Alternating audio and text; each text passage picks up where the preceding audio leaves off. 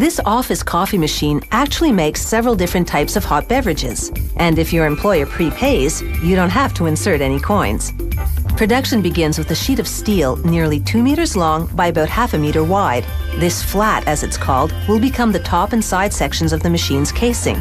A computer-guided punch press makes dozens of perforations for ventilation and for the various fittings the machine will need in order to function. A worker puts another sheet of steel into a press. This press bends the metal into 90 degree angles. This piece will become the bottom of the casing. A worker uses a spot welding machine to assemble what's called the base panel. This will later house a waste chute, overflow sensors, and wires. Another worker coats the casing with an epoxy-based paint powder. This process statically charges the powder and draws it to the metal like a magnet. Excess powder falls into a barrel below. A worker installs a fan that'll vent the steam and heat generated inside the machine. Another worker assembles one of two coffee delivery mechanisms, called augers. When the machine's on, they move the ground coffee to the brewer. He installs the augers into what's called the dual hopper. The hopper's two sections will hold up to six pounds of different coffee blends, such as dark and light roasts. Next, he installs what's called an agitation wheel. This plastic wheel helps move the ground coffee along and prevents it from getting stuck. The worker then aligns plastic couplings on the augers to mate with the ingredient dispenser. The dual hopper attaches to the ingredient dispenser with one screw in a pivoting bracket. Workers also connect power wires to the dispenser's motor and to a water inlet valve.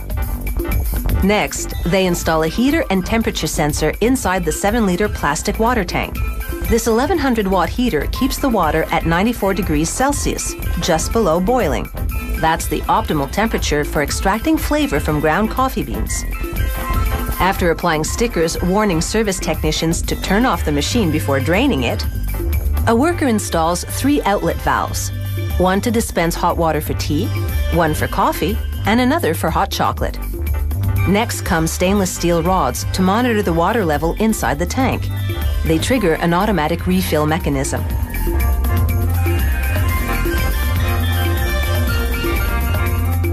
The worker connects power wires to the brewer motor. Then she mounts what's called the whipper mixing bowl. This aligns with a chocolate syrup dispenser to prepare the hot chocolate.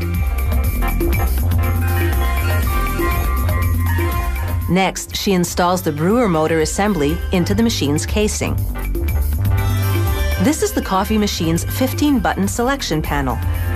It lets you select what type of hot drink to brew, in what cup size, and when to start. The panel also displays the prices when the coffee's not on the house. Once that's hooked up, workers test the chocolate syrup delivery system. They run water through it to ensure it doesn't leak. They also test to see if the system dispenses the correct dose of syrup. One dose is 15 milliliters, a tablespoon. A small cup of hot chocolate requires two doses. A large cup requires four. Now they install the brewer.